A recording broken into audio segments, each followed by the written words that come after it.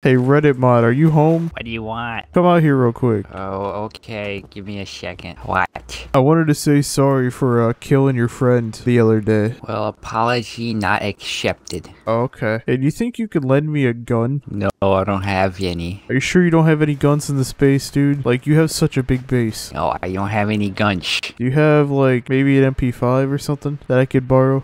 I really don't want to give you any guns. Let me let me check. Oh yeah, uh, uh, Karen ended up being a guy, so That's unfortunate. Oh, hey, I just found a gun sitting right here. Can I have this one? uh, Yeah, I'm sure you don't need it. he has a gun. Wait, wait, wait, chill out.